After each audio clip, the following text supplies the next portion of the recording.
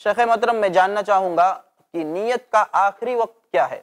नीयत की जहाँ बातें शुरू हुई थी और नीयत किसे कहते हैं, उसकी तारीफ़ जहाँ पर आई थी, वहीं पर ये बात भी आ गई थी कि नीयत की इब्तदा कहाँ से हो और उसका आखिरी वक्त क्या होता है।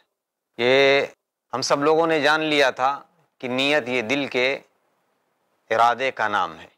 रमज़ान मुबारक महीने के रोज़े के ताल्लुक़ से हर मुसलमान मर्द और औरत वो अपने दिल में पहले ही से ये नीयत कर लेते हैं कि ये महीना जैसे ही दाखिल होगा हम उसके रोज़े रखेंगे। सिर्फ़ इतने ही नीयत उनके लिए काफ़ी है। और ये कब है? अभी रमज़ान मुबारक महीना दाखिल नहीं हुआ है। उससे पहले उन्होंने ये नीयत कर ली है।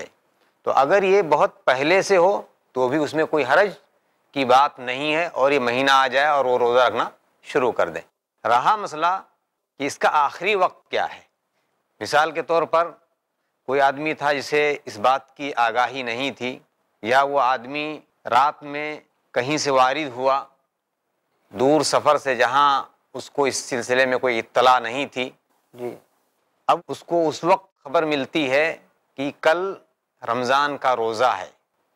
फ़र्द करने की सहरी से पहले जी। उसे ये मालूम हो लोगों को देखा उसने कि भाई आज लोग तैयारी कर रहे हैं सहरी खा रहे हैं कल रमज़ान का रोज़ा है उसे उससे पेशतर इतला नहीं थी तो उसके लिए उसी वक्त नियत कर लेना ज़रूरी है। अगर वहाँ उसने फ़र्द रोज़ों की नियत नहीं की तो उसका रोज़ा दुरुस्त नहीं होगा। अलबत्ता जो नवाफिल रोज़े हैं उनके लिए वक्त मुवस्सा है।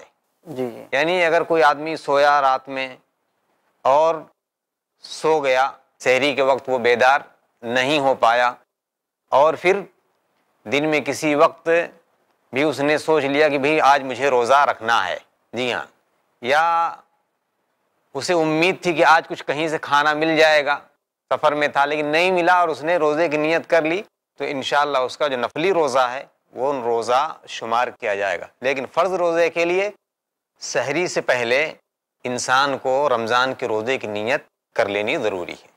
जजाकल्ला खैर शेख, नाजरीन कराम, यहाँ पर हमें एक बहुत ही अहम बात पता चली कि शहरी का वक्त ख़त्म हो जाने से पहले ही आपको फ़र्ज़ रोज़े की नियत कर लेनी चाहिए। और लेकिन एक बहुत बड़ी और बात पता चली हमें कि नफल रोज़े की नियत आप अगर उठ गए हैं आपने सहरी नहीं की है और आपका इरादा नहीं था पहले रोज़ा रखने का, लेकिन आपके उठने के बाद आपके दिल में इरादा हुआ रोज़ा रखने का कि मुझे आज रोज़ा रखना है तो आप उस वक्त भी नियत करके रोज़ा रख सकते हैं।